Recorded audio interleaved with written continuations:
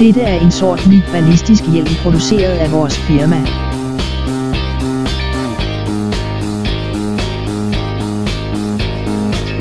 Der er et større beskyttelsesområde i øreværnsdelen.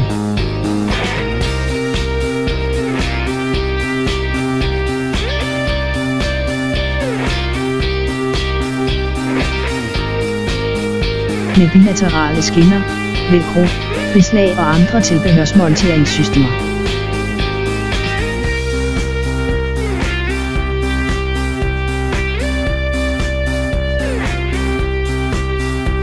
Glødende, genoprettede lyddæmpningspuder.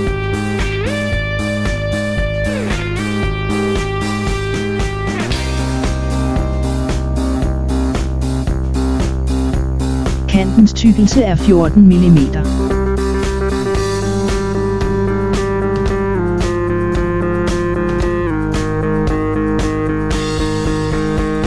Effektiv mod 9 mm kugler.